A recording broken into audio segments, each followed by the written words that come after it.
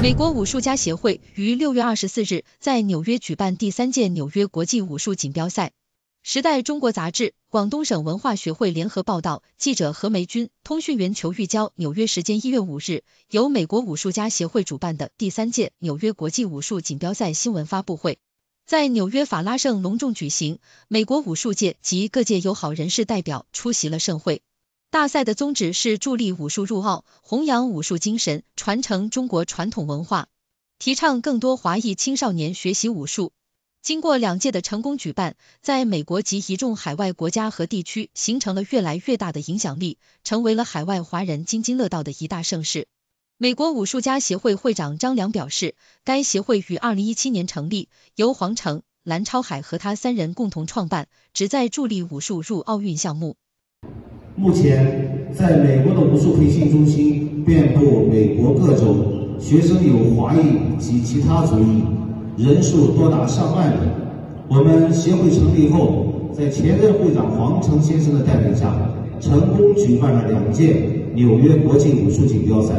每届参赛人数多达上百人，现场观摩人数达到上千人。中国武术是一门制止侵袭的高度自保技术，最早可以追溯到商周时期，是中华民族优秀的文化遗产之一。它蕴含着深厚的道德观念，做人讲道德，习武讲武德，为习武先修德，未曾习武先学礼，是中华武术的传统。在仁义礼智信儒家思想及其他传统文化价值观的影响下，武德表现出了守信、重义、有礼等思想。张良表示，协会已成功举办了两届纽约国际武术锦标赛，每届参赛人数多达上百人，现场观摩人数上千人，选手来自美国各州及周边国家的武术爱好者。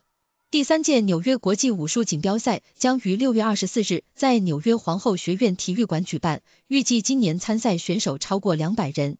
常务副会长蓝超还表示，本次比赛参赛者年龄跨度从五岁至七十岁及以上，比赛增加了散打、摔跤和太极。其他常规比赛还有集体项目、传统北方拳术、传统南方拳术、咏春拳、对抗项目、形意和八卦。荣誉会长、大赛总裁判长郭存杰表示，疫情期间各大武术赛事多在网上举办，本届武术大赛恢复现场比赛，相信会有更多人参赛。青少年学习武术是发展德智体美劳，还有助于升学。主办方告诉记者，一众专业人士参与到赛事当中，大大增强了大赛的专业性及权威性。一、奥运冠军代言，主办方隆重邀请了奥运冠军赵庆健作为形象大使，愿望以世界冠军的助力，提高大赛在全社会的推广宣传及影响力。二、自由搏击国家队总教练担任评委。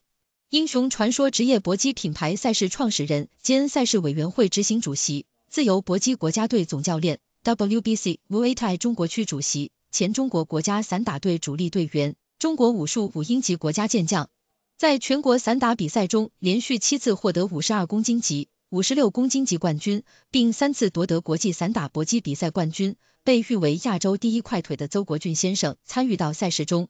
三世界赛事活动知名导演指导开幕式，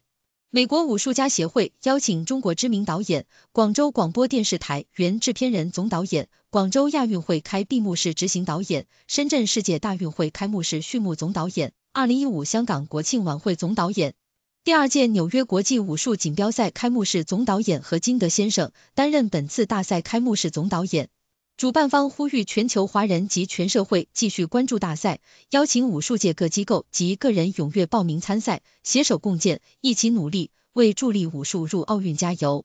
联合发布，时代中国杂志，何梅工作室和金德导演工作室。大家好，我是北京二零零八武术奥运会冠军赵庆健，同时也是此次比赛的形象大使。首先祝贺纽约。锦标赛启动，欢迎大家参加六月二十四号的在皇后大学体育馆举行的此次比赛，